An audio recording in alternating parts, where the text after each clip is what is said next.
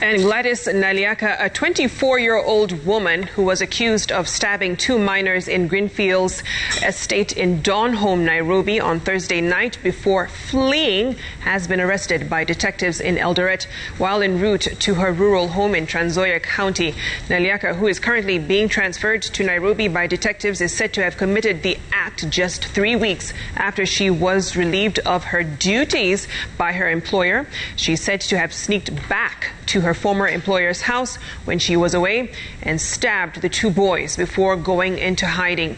Reports indicate that Naliaka could have committed the crime to get back at her former boss, whom she had worked for over two years. The two children are recuperating at Coptic Mission Hospital, with the accused expected to be arraigned on Monday.